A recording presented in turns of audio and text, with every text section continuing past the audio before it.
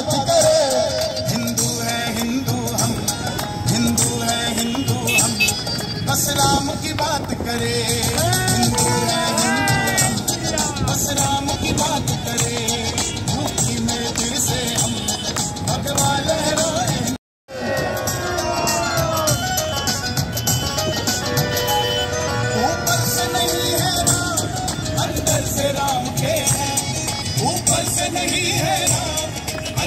से के हैं।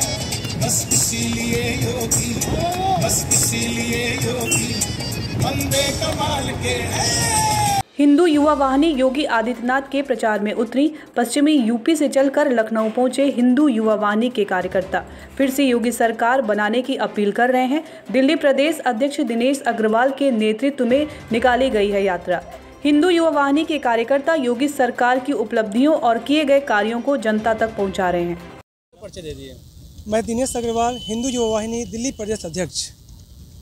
हम लोग सबसे बड़ा सवाल यही पहले आपसे है कि जो है हिंदी युवा वाणी जो है योगी जी के बहुत करीब रही है। क्या उसको लेकर के आपको इस बात का एहसास है कि क्या वो दोबारा सरकार नहीं बन पाएगी इसलिए आप लोग को बाहर निकलना पड़ा? नहीं ऐसा नहीं है।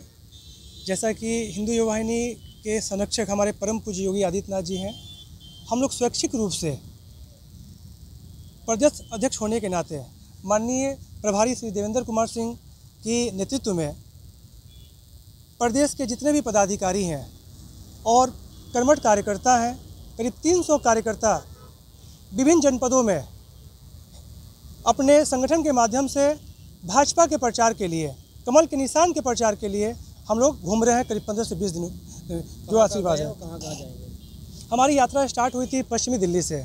जहाँ पे नोएडा गाजियाबाद साहिबा साहिबाबाद लोनी बागपत, बड़ौत, थाना भवन शामली गंगो इत्यादि क्षेत्र शामिल थे।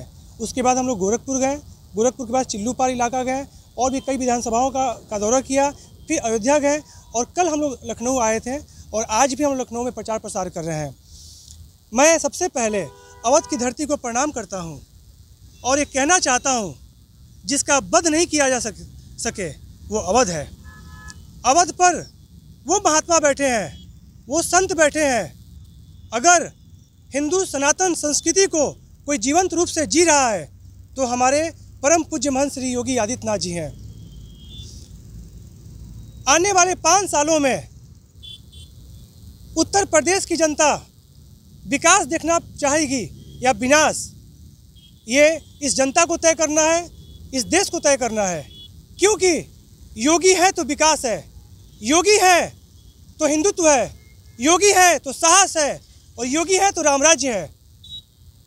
और साथ में उत्तर प्रदेश की जनता से ये भी कहना चाहूँगा, आने वाली पीढ़ियों के लिए, हिंदू अस्मिता के लिए, हिंदू सभ्यता के लिए, हिंदू गौरव के लिए, हिंदू अभिमान के लिए, हिंदू स्वाभिमान के लिए, हिंदू हित के लिए, हिंदू परिवार के लिए, हिंदू नाम के लिए, भारत के भाग्य के लिए आपका सही चुनाव इस इस देश का दशा और दिशा तय करेगा।